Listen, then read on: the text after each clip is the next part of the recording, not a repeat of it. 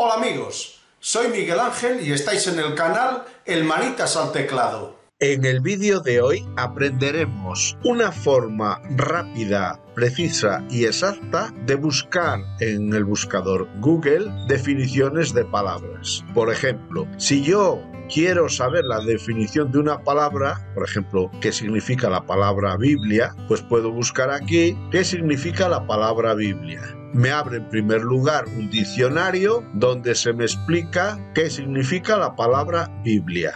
Los resultados han sido aproximadamente 265 millones y en estos resultados, aparte de la definición de Biblia, pues nos incluirán las palabras qué significa la palabra Biblia. Porque en realidad lo que estamos haciendo, tanto una búsqueda por la frase en concreto como por palabras sueltas de la misma.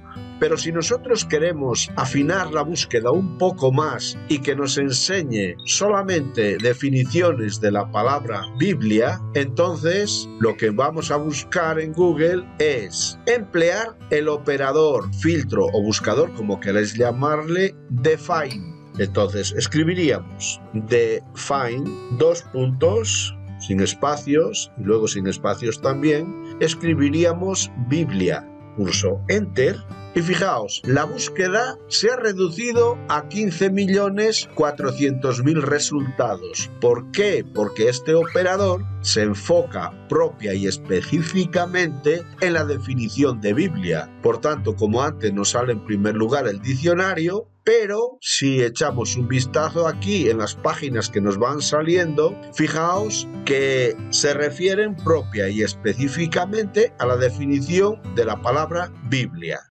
Y hasta el próximo vídeo donde seguimos disfrutando y aprendiendo.